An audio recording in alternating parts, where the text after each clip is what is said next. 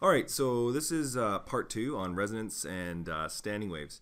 And um, we've already seen how um, standing waves can be created in a spring or a string by essentially a series of traveling waves that um, interfere with each other and um, both constructively and destructively to create regions of uh, maximum amplitude known as antinodes and regions of no amplitude called nodes. So this brings us to uh, resonance, which is a, a, phenomenon that happens all over in nature. In particular, things with musical instruments are a great example of that. And um, resonance is basically it's the tendency of objects to to vibrate or oscillate with a maximum of amplitude. So it's the tendency of an object to oscillate at a maximum amplitude. And the thing is that this oscillation is only going to happen at very specific frequencies.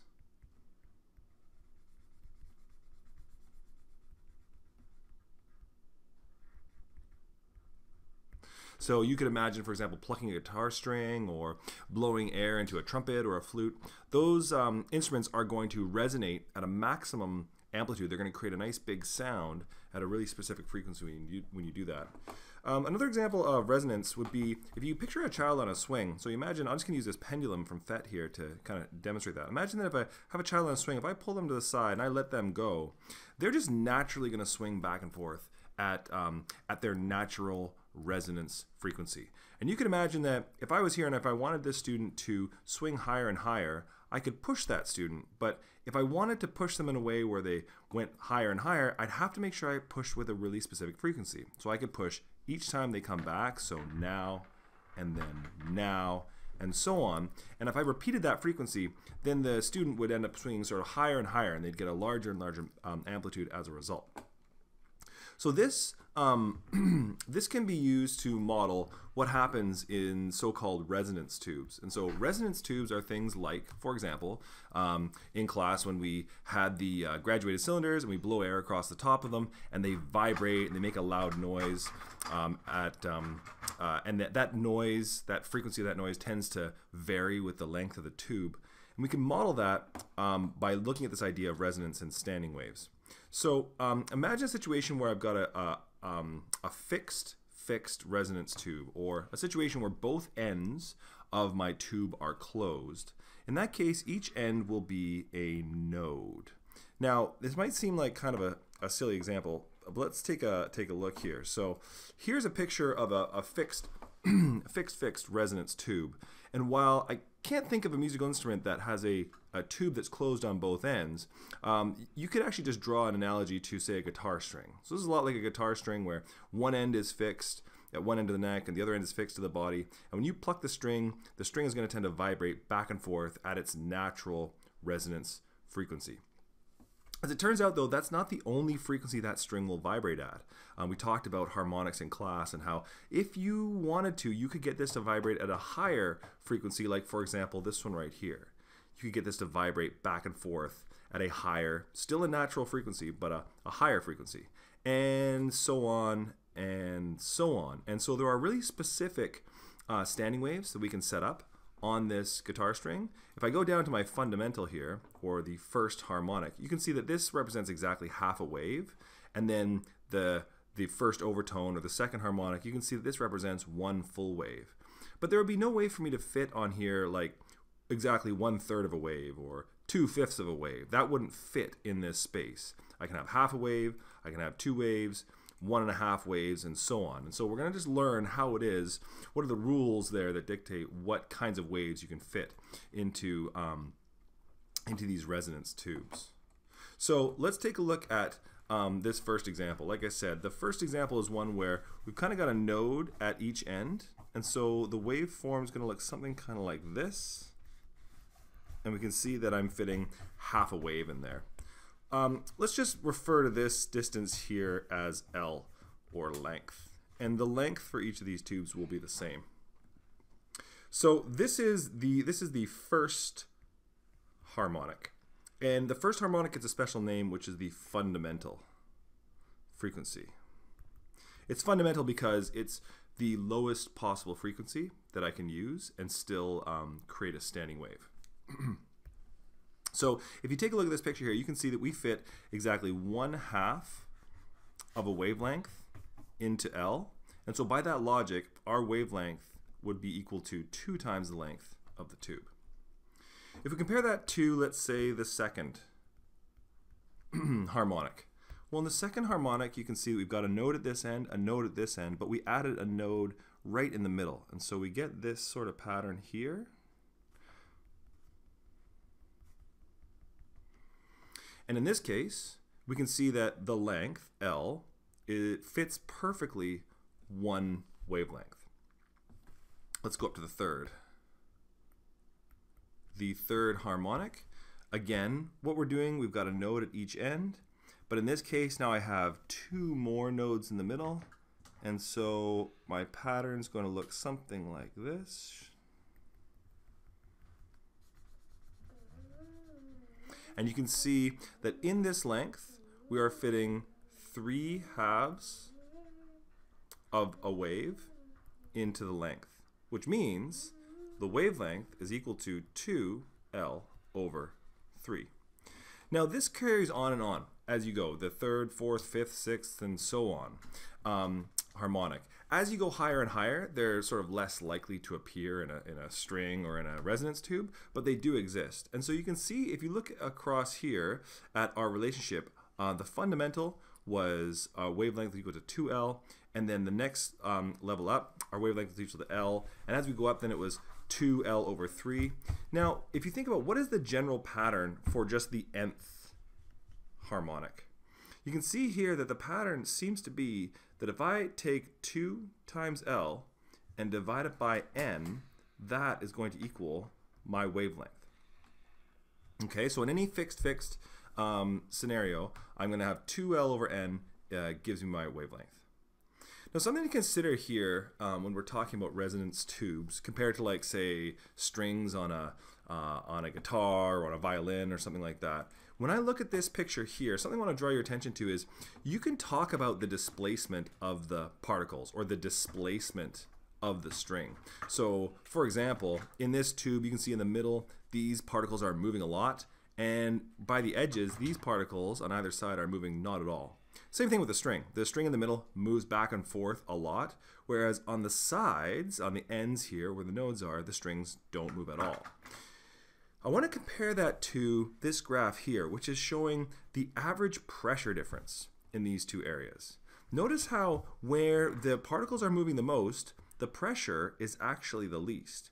Whereas when we look at either end, the particles on either end, the little um, air molecules that are moving back and forth, at the end, they experience the greatest pressure. You can see here it's being compressed the most and then expanded the most. I should say it has the greatest diversion from pressure. So when all the particles squish over to this side, it's a really large amount of pressure.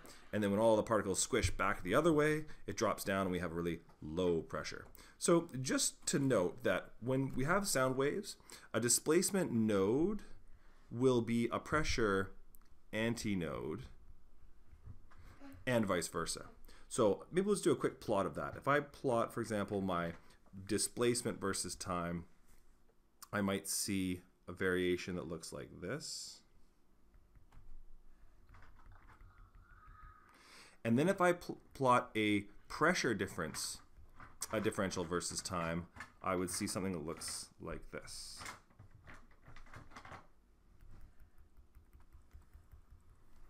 where um, I've got nodes at either end. And in this case, I have a node in the center. And in this case here, I have an antinode in the middle, whereas on this side here, I have antinodes at either end. Okay, so we're just going to keep on uh, moving here, and we're going to compare two other um, types of resonance tubes.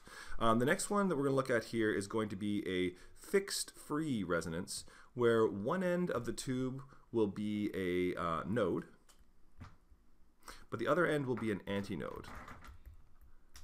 Now this is very similar to what we did in class with the um, with the uh, graduated cylinders. If I open up one side here, and take a look at what's going on, you can see at this far end of the tube, the air molecules are able to move quite a bit. They can move back and forth lots, frankly. Whereas at this end of the tube, the closed end, they actually can't move uh, very much at all. And so what I get here is I get an antinode, uh, sorry, a node at this end, whereas I get an antinode at the far end. And that's going to change the sort of the geometry of these of these waves and the, what kinds of waves we set up. So the first harmonic would again have a node here, but an antinode at our far end. And again, we'll talk about the length of the tube here being L. Okay, so we take a look at this picture here. This is a little bit different because I don't actually fit a wavelength in here. In fact, I don't even fit a half a wavelength.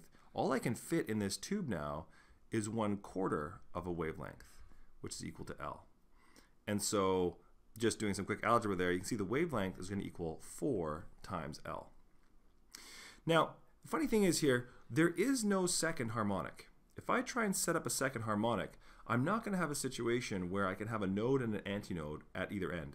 If I double the frequency of this quarter wave and try and fit a half wave in here, I'm going to run into a situation where I have a node and a node on either end. So the second harmonic doesn't exist. I'm going to skip straight to the third harmonic. And the third harmonic, again, happens when I've got a node here, and I'm going to add another node along the way. So my wave's going to go up, back down, and then end in an antinode. Down, and antinode.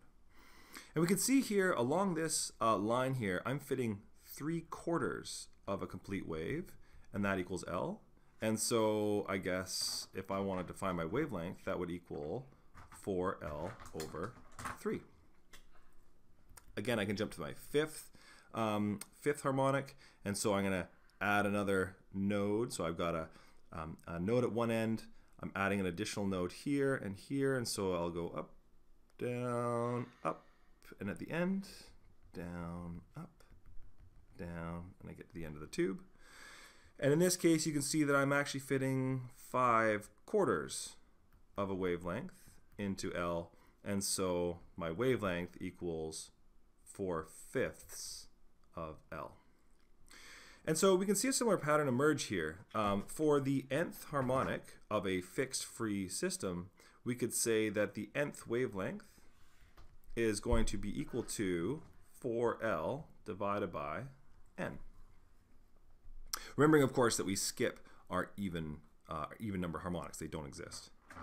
Okay, last but not least here, we're going to look at a free-free system. Now in a free-free system, we'll just take a quick look here. Looks like this if both sides of the tube are open. So you can imagine this being like, for example, a flute where you blow into one end of the flute, but the other end is open as well. Um, and you can see here that on either end, I get an antinode. An antinode on the far end, antinode on the other end, and right in the center then is where I get a node. And so what's this going to look like? Well, my first harmonic or my fundamental frequency in a tube of length L is going to have an antinode at one end, a node in the center, antinode at the other end. And so it will look something like this. Okay. Now, if you look closely at this, maybe it's not uh, obvious straight away, but if you look close, you'll notice that you can actually fit, this is fitting exactly half a wave again. So one half of a wavelength fits into L, which means my wavelength is equal to 2L. When I jump to my second harmonic, I'm going to add a second node, and I should get this pattern. And you can see, if you look closely there, that that is fitting exactly one wavelength into L. Our third harmonic, carrying this pattern along, we're going to add another node. And so it's going to go down and up and down, up and down and up.